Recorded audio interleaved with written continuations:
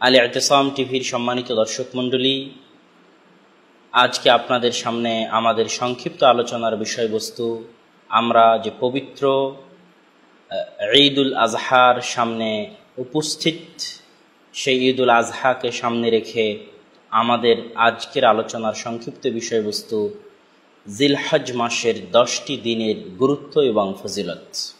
হয়তো আগামী পরশু দিন থেকেই ইনশাআল্লাহ জিলহজ মাস শুরু হতে যাচ্ছে। সেই হিসেবে আমাদের সমাজের মানুষ জিলহাজ মাসের গুরুত্ব সম্পর্কে অনেকটাই অসচেতন।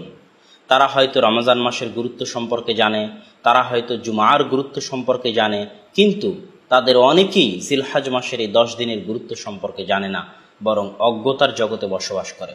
আল্লাহ তালা সুরা ফাজরে, ওয়াল ফাজর ওয়ালায়ালিন আশর এই দশটি দিনের কসম করেছেন। আর আল্লাহ প্রত্যেক যে জিনিসের কসম করেন, তা অনেক গুরুত্বপূর্ণ এবং অনেক দামি হয়ে থাকে।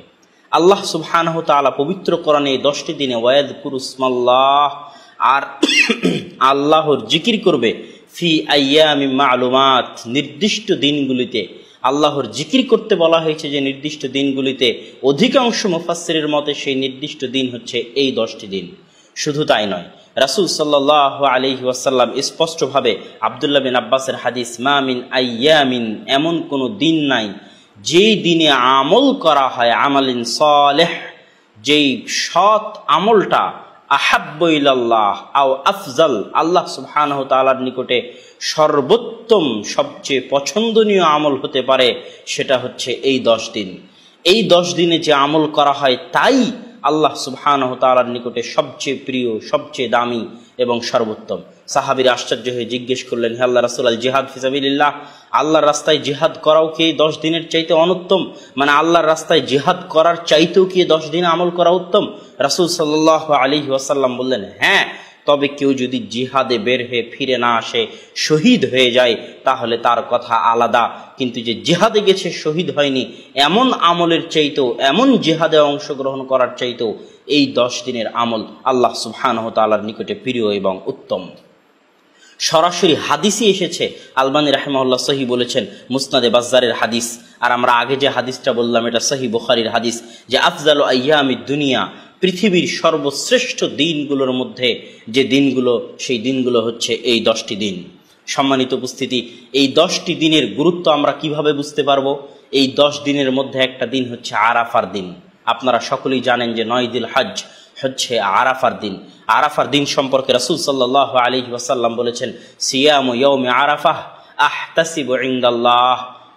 আরাফার দিনের সিয়ামের বিষয়ে আমি আল্লাহর নিকটে আশা করি যে ইউকাফের আল্লাহ সুবাহান তালা এই আরাফার দিনের সিয়ামের মাধ্যমে এক বছর আগের এবং এক বছর পরের গুনাহ ক্ষমা করে দিবেন। আল্লাহ আকবর। সম্মানিত উপস্থিতি, এই দশ দিনের মধ্যে পৃথিবীর সর্বশ্রেষ্ঠ দিন, আরাফার দিন হচ্ছে এই দশ দিনের মধ্যে আছে। তেমনি রাসুল সাল্লাহ আলী ওয়াসাল্লাম আরা খাদিসে আলবানী রাহমাহুল্লাহ সহি বলেছেন যে আ আদাম আয়ামি দুনিয়া। পৃথিবীর শ্রেষ্ঠ দিনগুলোর মধ্যে একটি অন্যতম শ্রেষ্ঠ দিন হচ্ছে দশই জিল হজ যেই দিনে ইব্রাহিম আলাইহি সালাতাম তার সন্তানকে কুরবানি করেছিলেন মর্মে। যে ঘটনা, সেই ঘটনার স্মরণে উম্মাতে মুসলিমাহ যে আল্লাহ সুবহান তালার রাস্তায় কুরবানি করে থাকে, এই দিনও হচ্ছে এই দশ দিনের অন্তর্ভুক্ত। এই দশ দিনের গুরুত্ব আরও কীভাবে বুঝবেন? হজের যাবতীয় কার্যক্রম, ইসলামের যে পাঁচটি স্তম্ভ আছে পাঁচটি স্তম্ভের একটি স্তম্ভ হচ্ছে হজ।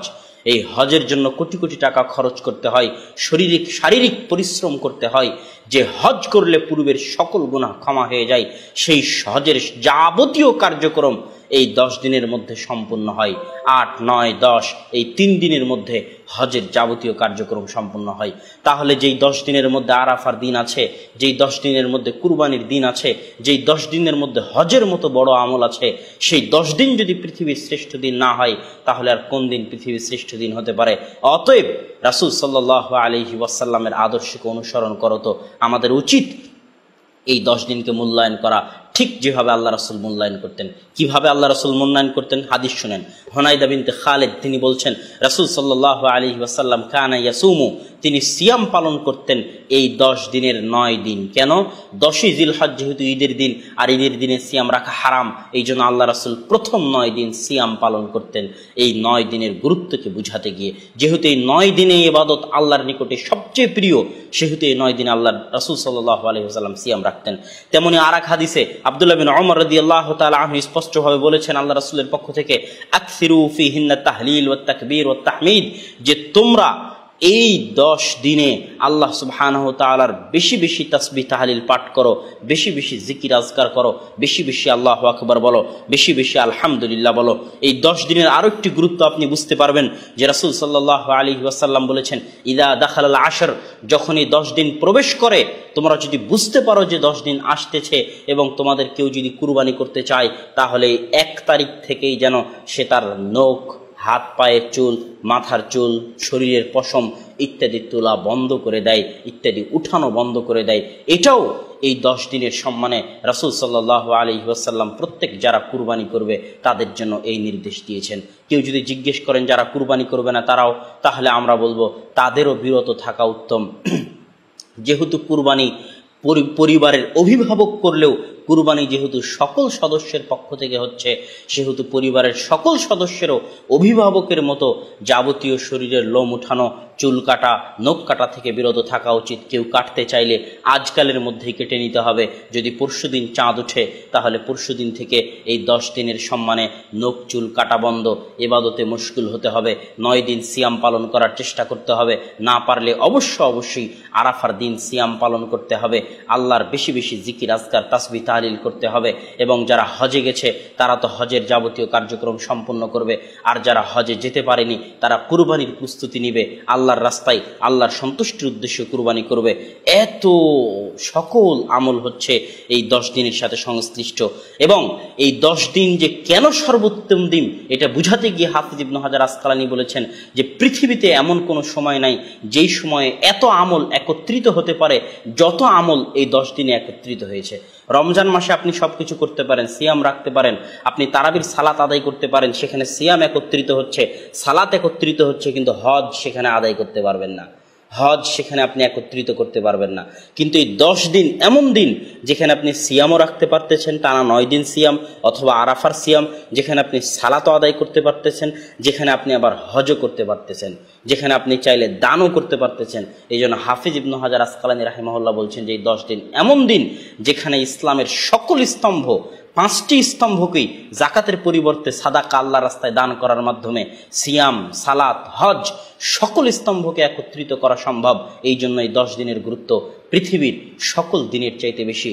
আল্লাহ সুবাহানহ তালা আমাদের এই দশটি দিনে বেশি বেশি আমল করার তৌফিক দান করুক। আল্লাহ মামিন এই বলে আজকের সংক্ষিপ্ত আলোচনা এখানেই শেষ করছি। আসসালামু আলাইকুম ওরহমতুল্লাহি আবরাকাত